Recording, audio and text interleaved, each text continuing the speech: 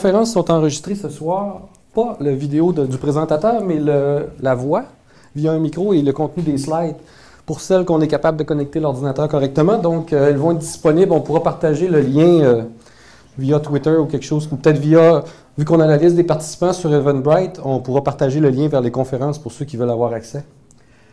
Donc, dans mon cas, je suis développeur de MapServer depuis le début des années 2000. Donc, je disais qu'il y a trois solutions en logiciel libre qui existent, qui sont vraiment compétitives avec tout ce qui se fait en propriétaire. MapServer en est une. Euh, je remarque, puis je l'ai mentionné quelques reprises, mais c'est un succès en fait pour moi d'avoir attiré ici des gens qui ne sont pas des géomaticiens. C'était l'objectif d'aller chercher, parce que le monde de la géomatique a tendance à toujours rester dans son petit milieu, puis à ne pas s'ouvrir vers le reste du monde. Je suis très heureux de voir des gens qui ne sont pas du milieu de la géomatique, des gens qui sont du milieu du web, qui sont du milieu des TI en général. Donc ma présentation habituellement s'adresse à des gens qui connaissent déjà MapServer. Puis là, par euh, la main, en levant la main comme ça, combien de gens connaissent déjà MapServer ici? Oh, c'est pas si mal. Donc, euh, on a quand même euh, peut-être une douzaine de personnes qui connaissent déjà MapServer, c'est bien. Donc, c'est pas un secret pour ceux qui le connaissent déjà. C'est pas un secret que MapServer, c'est un produit open source. Il est, il est endossé par la fondation OSGeo. MapServer, c'est rapide comme un guépard, c'est solide comme un bœuf, puis ça produit des cartes. L'allusion au guépard et au bœuf avait été faite par un excellent présentateur, Paul Ramsey, de, OSGeo dans le passé, puis c'est vraiment une belle allusion par rapport à MapServer. Il est très léger, très robuste, très performant. Dans les benchmarkings qui ont été faits dans le passé, MapServer se sentir habituellement toujours en haut de la liste euh, côté performance. Donc, euh, comme je disais, MapServer, ça peut produire des belles cartes de différents styles, des cartes euh, qui se comparent à ce qu'on voit avec Google Maps, par exemple. Il peut supporter tous les types de labeling, afficher les one-way, ces choses-là où on peut faire aussi des petits trucs pour faire ressortir de l'information au sein d'une carte. On peut imiter le style de Google si on le veut. Il y a des gens qui ont besoin de ça. Donc, c'est les données d'OpenStreetMap ici qui sont utilisées dans le style de Google. On peut utiliser des données de type matriciel. Ici, c'est un modèle d'élévation de terrain. En fait, c'est la bathymétrie euh, de, l'océan dans le secteur des Caraïbes. Donc, euh, si vous avez jamais entendu parler de MapServer, vous pourrez euh, aller faire un tour sur mapserver.org puis faire des recherches. C'est un outil très intéressant pour faire de la cartographie web. Euh, c'est sûr qu'il y a des choses à apprendre. Une des choses par rapport à MapServer, quand tu veux construire une carte, là c'est ça, je parle vraiment de ce qui se passe en arrière, ça te prend un éditeur texte premièrement pour éditer ta configuration. Ça te prend un navigateur web pour prévisualiser ce que tu es en train de construire. Ça te prend une console pour regarder les logs qui sortent de MapServer pour voir la performance de tes couches de données, voir si tu as des erreurs qui ont sorti. Ça te prend un outil de géomatique euh, de bureau habituellement pour pouvoir naviguer tes données spatiales puis voir quels sont les attributs, les informations à lesquelles tu as accès pour pouvoir construire, ton, styliser tes cartes, ces choses-là. Donc, euh, QGIS en est un excellent, puis il va être présenté un peu plus tard par Simon. Il va vous montrer comment construire une carte en 10 minutes avec QGIS à partir de zéro. Euh, puis ça te prend habituellement aussi une fenêtre SQL pour être capable de faire euh, des petits tests de, requête ou des outils de conversion de fichiers comme Gedaloger, qui sont des outils open source aussi. Donc ça prend beaucoup d'outils pour construire une carte. C'est une job assez compliqué habituellement. Puis une des plaintes qu'on a avec MapServer, malgré le fait qu'il est performant, qu'il est léger, qu'il est robuste, c'est ça nous prendrait un outil d'administration pour faciliter la job de, création des cartes. Donc euh, les autres, Mapnik et GeoServer, les deux autres compétiteurs dans le monde open source, en avaient un, qui ont chacun leur saveur assez différente. Puis là, ben, ce que je vous présente aujourd'hui. En fait, euh, ça, c'est le, fichier de configuration qu'on doit éditer. Donc, euh, la raison pour laquelle il n'y a jamais eu d'outil de configuration qui existait dans le passé, c'est que c'était quand même assez, c'est quand même assez facile à éditer. ça peut avoir l'air lourd, ça peut devenir très long quand une carte devient complexe, mais la syntaxe est très intuitive et très simple. C'est pourquoi on n'avait pas besoin d'outils de configuration. Les deux autres outils, les deux autres concurrents, GeoServer et Mapnik, c'est des fichiers XML. Puis là, ben, tout le monde sait que le XML n'a pas été fait pour être édité par des humains.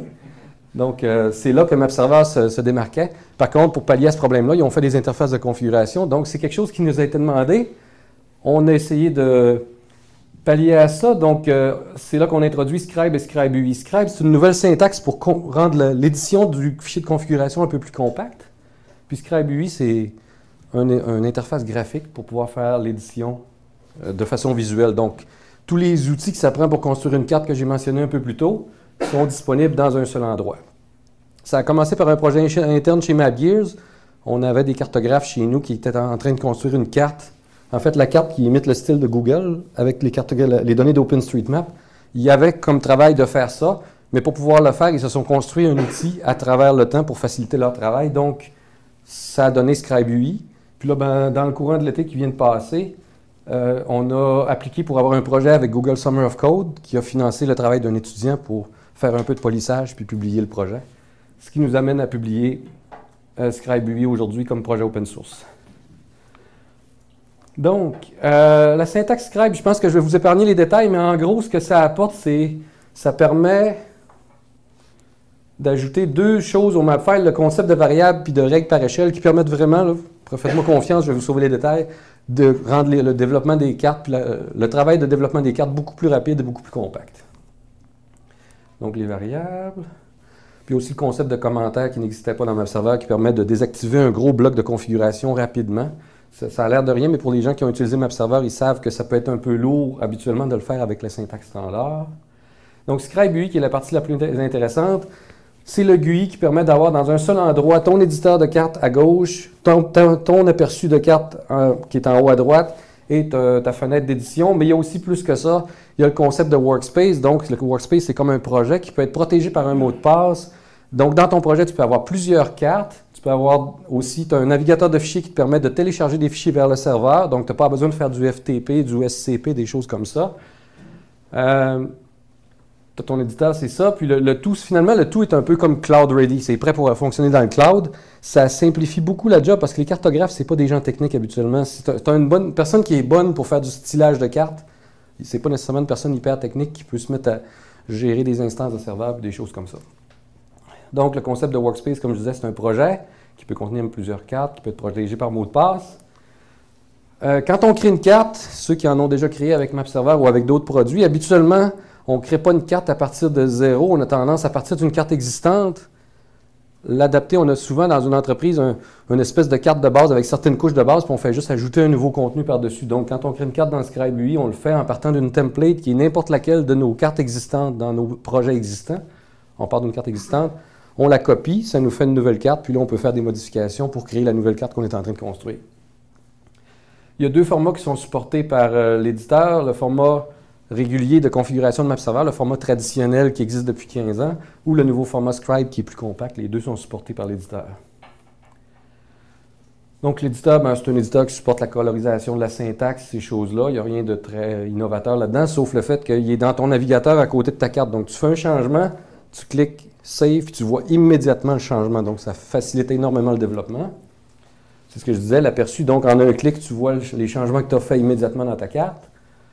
Euh, le concept de point d'intérêt, les gens qui ont déjà développé des cartes savent que habituellement, tu as des endroits critiques où tu as des types d'objets dans la carte euh, que tu veux tester. Donc, quand tu fais des changements, tu as certains endroits, comme par exemple dans la ville de Montréal, tu as une certaine densité de, de, rues, de sens unique et de choses comme ça, alors que si tu t'en vas dans le nord du Saguenay-Lac-Saint-Jean, tu as des chemins forestiers. Fait que tu veux aller rapidement à ces endroits-là pour identifier euh, aller t'assurer que ta carte, quand tu fais ton contrôle de qualité sur ta carte, tu vas pouvoir sauter rapidement à ces endroits-là. Puis c'est ce que le concept de point d'intérêt te permet de faire. Donc, tu peux ajouter facilement, juste en cliquant sur le petit bouton plus, ajouter des nouveaux points d'intérêt, puis ça te permet facilement, pendant ton développement de carte, de sauter à ces endroits-là. Explorateur de fichiers, c'est du traditionnel. Tu peux naviguer sur les fichiers qui sont sur le serveur, télécharger des fichiers vers le serveur pour pouvoir les rendre disponibles et les utiliser dans ta carte. Le concept de plugin, on veut que ce soit un système qui soit extensible. Donc, euh, il y a un petit API qui est disponible qui permet à quelqu'un de développer ses propres extensions qui feraient peut-être des fonctionnalités spécifiques à leur cas d'utilisation lorsqu'ils construisent des cartes. Puis un exemple, il y a un plugin SetExtent qui est très simple, qui est fourni en exemple avec l'outil. Comme je disais, c'est prêt pour le cloud, donc euh, il y a une protection par mot de passe, il y a le concept de workspace. C'est construit en fonction qu'une équipe de développeurs, de cartographes puissent travailler tous sur la même instance de serveur sans avoir à faire des installations multiples comme les gens ont tendance à faire traditionnellement quand ils développent chacun dans leur petit environnement. Euh, puis, à la fin du processus de développement d'une carte, tu as un URL qui est prêt à publier, qui peut être connecté dans OpenLayers ou dans un autre outil de cartographie web que les gens sont habitués d'utiliser. Ça peut produire un service WMS ou un service WMS, encore là, c'est un, protocole d'interopérabilité dans le domaine de la cartographie web qui est très commun, qui est supporté par à peu près tous les systèmes. Donc, euh, MapServer supporte ce protocole-là, puis l'URL qui est produit par cette carte-là va supporter le protocole aussi. Ou sinon, ben, il y a d'autres euh, protocoles plus euh, spécifiques qui sont disponibles aussi. Les plans futurs, ben, pour le moment, comme je disais, c'est un outil interne. Via un projet Google Summer of Code pendant l'été, on l'a rendu public sur GitHub, rendu public à scribeui.org. je dois avouer qu'il n'est pas hyper mature encore, mais il est utilisable et on l'utilise dans notre cas en production les gens qui sont des power users, qui sont des usagers expérimentés avec MapServer, peuvent déjà commencer à l'utiliser. Je pense qu'il est assez facile à installer quand même sur Ubuntu, sur Linux. Ce qu'on veut, c'est rendre l'installation plus facile aussi sur Windows et sur, euh, et sur OS X. Euh, mais j'imagine que dans les prochains six mois environ, ça va devenir beaucoup plus mature. Puis un de nos plans futurs, justement, c'est d'en arriver à une version 1.0 stable dans les prochains mois pour que les gens puissent vraiment euh, aller en production avec ça. Puis l'objectif aussi, étant donné l'approche, mais je ne vais pas rentrer dans ces détails-là, on a eu d'autres outils dans le passé autour de MapServer, mais qui sont tous morts parce qu'ils visaient les usagers débutants. Puis euh, dans le monde open source, un des aspects, là ça fait partie du modèle d'affaires du logiciel open source, juste produire des outils. Tu, quand tu publies un produit open source, il faut que tu t'assures que tu vas avoir un retour de la communauté parce que c'est comme un investissement de rendre ton code disponible. On a découvert que quand on produit des produits open source qui s'adressent seulement, là quand je dis open source, c'est libre et open source, c'est pas religieux. Là. Euh, quand ça s'adresse simplement à des débutants, les débutants n'ont pas tendance à recontribuer, alors que quand tu t'adresses à plus une grande variété de types d'utilisateurs, lorsque les débutants deviennent fonctionnels et des power users, ils vont avoir tendance à recontribuer. Donc, tu peux avoir une communauté vivante qui va se construire autour du produit. Le pari avec ScribeUI, c'est justement qu'il y a une approche que c'est un outil de productivité pour les, développeurs avancés de cartes. Donc, on, espère qu'il y a une communauté qui va se construire autour et que l'outil va vraiment euh, vivre à long terme. Donc, euh, c'est ce que j'avais pour euh, ScribeUI. C'est un peu plus technique. Je sais qu'il y en a certains qui étaient probablement perdus complètement. Ceux qui sont des utilisateurs de MapServer, je vous dis, vous devriez vraiment garder un œil là-dessus, scribeui.org. Euh, ça va réellement changer votre expérience avec MapServer.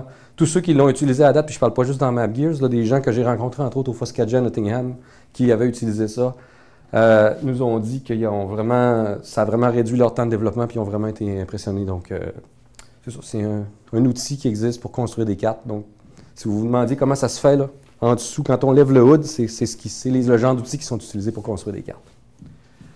Voilà. S'il y a des questions. Est-ce qu'il y a des questions?